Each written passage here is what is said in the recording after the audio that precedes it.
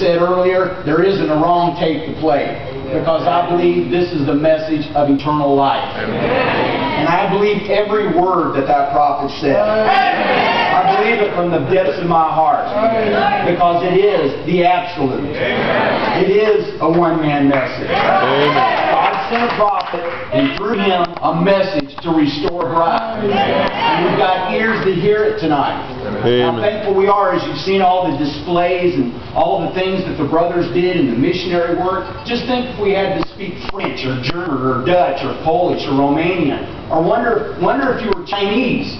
If you've seen that, that they have to hide out in places, that we'd all be arrested and go to jail to do it. Would you be here tonight? Would you make that sacrifice to be here tonight if that was? That's what I want on my heart, Lord, whatever. I want you all completely. For Brother Branham, as he said, that in this message that we have to open up everything. God wants everything. He wants us all. Amen. And how many times we turn him down, we turn him down, and we turn him down. And as I was listening, as Brother Branham said, he started talking and praying for the sick.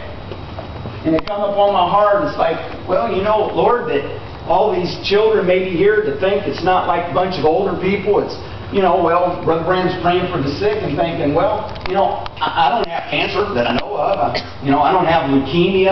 I don't have sugar diabetes. I, I don't have any of these things when he's calling a prayer line. I don't have any of those sicknesses in my body that I know of. I, I don't have that. So I'm not praying for me. He's not praying for me with that. But you know what? Cancer and leukemia and blood sugar, that kills the flesh. Uh-huh. That's what that does. It just that hurts the body. It kills the body. Uh-huh. But without the Holy Ghost, it kills the soul. Yeah. That you need prayer for the sick. Is if you don't have the Holy Ghost, when Brother Branham says, if you got a sickness in your body, I do, Brother Branham. Lord Jesus, I've got sickness in my body. I don't have the Holy Spirit.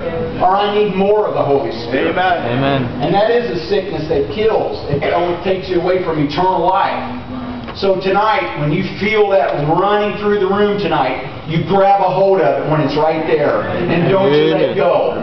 Because he's going to pass by and Satan's going to tell you, don't grab a hold of it. Don't you do it. You don't want to do that. Come on, Yes. I do, Lord Yes. Jesus. I'm going to grab a hold of it.